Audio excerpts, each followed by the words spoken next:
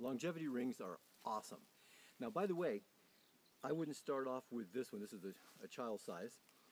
Uh, the regular, um, just medium sizes are excellent. But if you are very, very tight, you can look online and find the uh, Wing Chun, which are much bigger. And so that will actually be the easiest ring for you to use. Now keep in mind that all of this information is also down in the description below the video. Okay, let's do it. Going to start off right in front of his chest. And we're going to pull and push this directly across our body. Now you notice that I want to be directly to my side. I don't want to be pushing out of this diagonal. The, di the diagonal is easier. Bring it as much towards the side as you can. And then bring it right back across and push with the one hand while pulling with the other. So you're keeping a constant mild tension on the rings throughout all the maneuvers that we're going to do with them.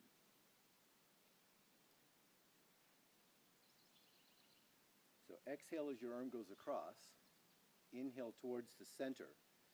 Exhale as your arm goes across.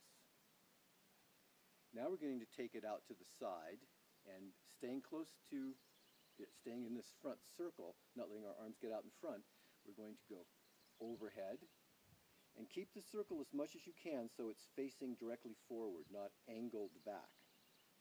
And then pull it over to the other side all the way down. So we're doing full circles. And the circle that we are outlining is the front circle. Now we're going to reverse that so remember we're pushing and pulling at the same time, so we've got a constant tension on the rings. And the rings are just sliding through my hand. All right, now up the center line, overhead and back down and around. So you come as low down as you can. If you can only come this low, that's okay. But if you can, you come down behind your head.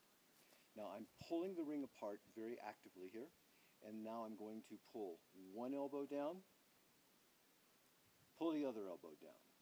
That's the way.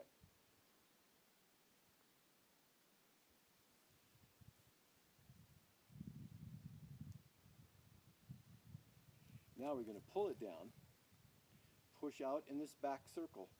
Stay in the back circle the whole time if you can. Come down, pull, come to midline and reverse, go the opposite direction. Still pulling the rings apart. Elbow down, arm straighten out, push all the way around, come in, pull that elbow down, come across the midline. One more time.